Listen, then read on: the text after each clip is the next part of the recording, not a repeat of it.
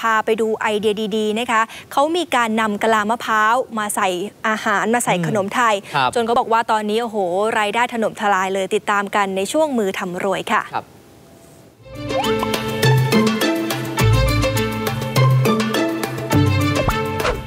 ทั่วแปบบัวลอยขนมต้ม สีสันน่ารับประทาน แถมยังอยู่ในกะลามะพร้าว ที่นำมาดัดแปลงเป็นภาชนะ เพิ่มความน่ากินเข้าไปอีกเป็น อีกหนึ่งความคิดสร้างสารรค์ของพี่หนึ่งชอบการกิจ และพี่สุวิไลอินชายสองสามีภรรยาชาวหนองมะโมงจังหวัดชัยนาทที่ช่วยกันทำมาหาเลี้ยงชีพโดยพี่หนึ่งได้เล่าให้ฟังด้วยว่าก่อนหน้านี้ได้ยึดอาชีพขายเคลปอยู่ที่หน้ามหาวิทยาลัยรังสิตแต่ต้องขายตอนกลางคืนไม่มีเวลาเลี้ยงลูก จึงตัดสินใจกลับมาทำมาหากินที่บ้านเกิด จากนั้นได้ลองขายขนมไทย ปรากฏว่ามีเสียงตอบรับจากลูกค้าเป็นอย่างดี ประกอบกับการเลือกใช้วัสดุธรรมชาติ อย่างกะลามะพร้าวน้ำหอมเป็นภาชนะใส่ขนมทำให้เป็นจุดขายที่มีรายได้กว่า 1,000 บาทต่อวัน ลองทำขนมดูแล้วก็ทำขนมทั่วแปรขนมต้มกล้วยนึ่งฟักทองนึ่งลองไปขายดู สรุปว่าปรากฏว่าขายดีขายหมด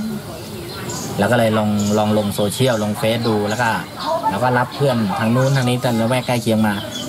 ก็ให้เขาบอกต่อกันด้วยอะไรกันด้วยก็เลยลงลองลงขาย เราก็บอกว่าบริการส่งฟรีนะครับ ใครสนใจก็สั่งได้ก็เลยแต่นี้เราก็พอเราลงเสร็จ คนก็ให้ความสนใจอยากทานอยากกินกันเราก็วิ่งไปส่งกล่องเดียวเราก็ส่ง เพราะตอนนั้นก็คือเราเราบริการอะเราอยากได้ลูกค้า พี่หนึ่งยังบอกต่อด้วยว่าได้มีการเพิ่มช่องทางการขายออนไลน์ผ่านทาง Facebook ที่ชื่อว่าหมื่นหนึ่งขนมไทย หากใครสนใจลิ้มชิมรสก็สามารถติดต่อไปได้ที่หมายเลขโทรศัพท์ 092 279 1572 มีบริการส่งฟรีด้วยนะคะ ทีมข่าวนิว 18 จังหวัดชัยนาทรายงานค่ะ